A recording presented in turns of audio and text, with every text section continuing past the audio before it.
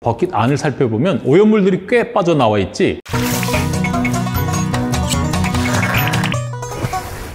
네, 저는 내에 관리한다. 안녕 동티뷰 시청자 구독자 여러분 안녕하십니까? 코일 매트는 내구성이 뛰어나고 색상도 다양하기 때문에 많은 분들이 사용하고 계십니다. 또한 먼지나 이물질의 포집력이 뛰어나 항상 깔끔해 보이고 통기성도 좋아서 동승자들은 신발을 벗고 발의 피로도를 줄이는데 도움을 줍니다. 하지만 코일 매트의 단점은 구조상 깊숙이 박혀있는 오염물을 제거하는 것이 쉽지가 않습니다. 대부분 코일 매트의 청소 관리 방법이 우선 털고 고압수로 헹구어내고 물기를 제거하는 것까지 비슷할 겁니다. 하지만 이런 방법이 겉만 깨끗해진 느낌이고 찜찜하고 영 개운하지가 않습니다. 제가 얼마 전 새롭게 론칭한 CUCD 친환경 코일 매트를 소개한 적이 있었는데요. 많은 분들이 관심을 가져주셨습니다. 그런데 영상을 보신 몇 분이 코일 매트가 장점은 많은데 청소 및 세척 등 관리하는 방법이 너무 어렵다는 비슷한 댓글을 올려주셨습니다. 모두가 공감하시는 내용들이었습니다. 그래서 오늘은 조금 특별한 방법으로 코일 매트를 깨끗하게 세척하는 방법을 알려드리려고 합니다. 오늘도 동튜뷰와 함께 하겠습니다.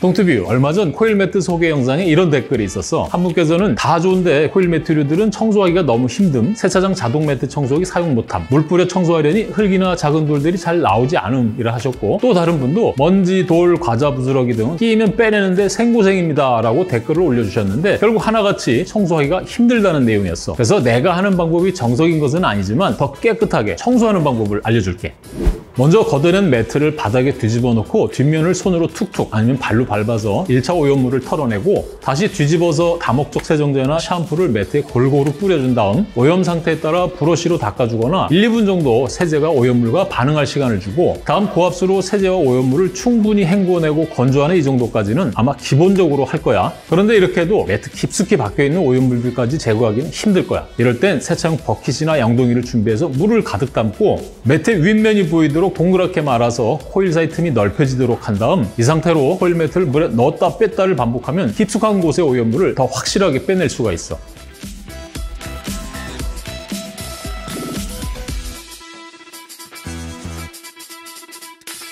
고압수로 헹궈내고 했는데도 버킷 안을 살펴보면 오염물들이 꽤 빠져나와 있지. 이렇게 한 다음 매트는 햇볕이 잘 드는 곳에 널어서 냄새가 나지 않도록 물기를 말려주면 되는데 물기를 건조하는데 시간이 오래 걸릴 수 있을 거야. 이럴 때를 대비해서 운전석 순정 매트를 한 개 준비해 놓았다가 집에 올 때는 순정 매트를 이용하고 세척한 매트는 트렁크에 싣고 와서 완전하게 건조를 시켜준 다음 사용하면 냄새도 나질 않고 위생에도 좋은 방법이야 시청자 구독자 여러분 잘 보셨습니까? 장점이 많은 코일 매트이지만 그런 장점도 관리가 되질 않으면 호흡기 질환에 영향을 줄 만큼 치명적인 원인이 될 수 있습니다. 깨끗해 보인다고 방치하지 마시고 이번 주말엔 코일 매트 세척해 보시면 어떨까요?